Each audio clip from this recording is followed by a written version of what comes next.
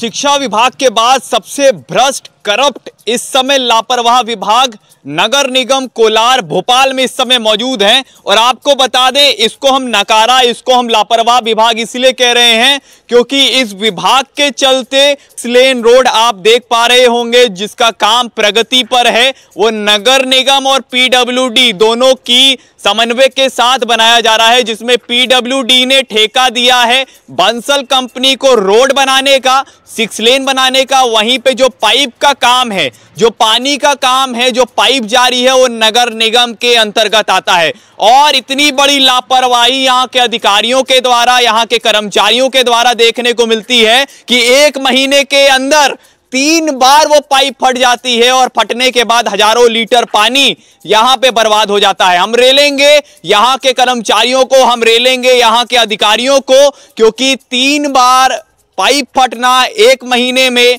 हज़ारों रुपया यहाँ पे खर्च कर देना।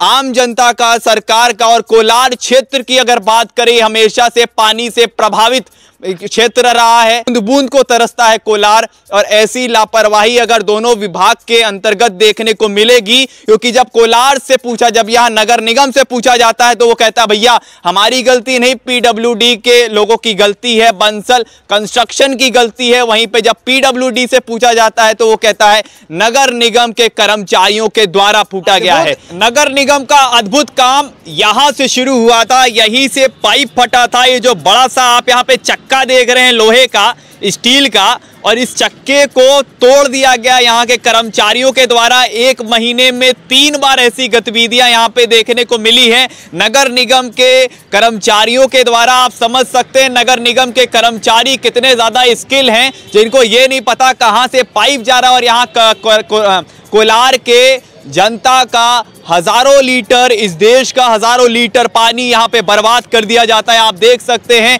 आज तीसरा दिन है। तीन दिन में यहाँ पे पानी बहुत बर्बाद हुआ है और ये जो आप यहाँ पे दृश्य देख रहे हैं, यहाँ पे सैलाब आ चुका था, जो अभी फ़िलहाल यहाँ पे सुखाया गया है, लेकिन इस समय जो भोपाल को झीलों की नगरी कहा जाता है, झीलों के साथ साथ दलदल की नगरी यहाँ पे बन चुका है तो ऐसी लापरवाही अगर कर्मचारियों के द्वारा, ऐसी लापरवाही अगर अधिकारियों के द्वारा और नगर निगम और पीडब्ल्यूडी और बंसल लिमिटेड कंपनी के द्वारा अगर यहाँ पे देखने को मिलेगी तो आप समझ जाइए कि भोपाल किस तो और जाते चला जा रहा है। ये सरकार अगर अपने डिपार्टमेंट पे समन्वय नहीं बना पा रही है तो आप समझ लीजिए कि ये कितना ज़्यादा परेशानी का समय इस समय पूरी इस विधानसभा का है और जितने लोग इससे प्रभावित हैं उनका है। इस समय यूँ तो अधिकारी अंदर नहीं बैठे हैं, नहीं तो उनसे सवाल पूछते कि एक महीने में तीन बार कैसे पाइप फूट जाता है, ये क्या कोई खिलौने की गाड़ी है कि तीन बार पहिया निकल जाता है? और ऐसी लापरवाही अगर नगर निगम करेगा, सरकारी पैसे पे आग लगाने का काम करेगा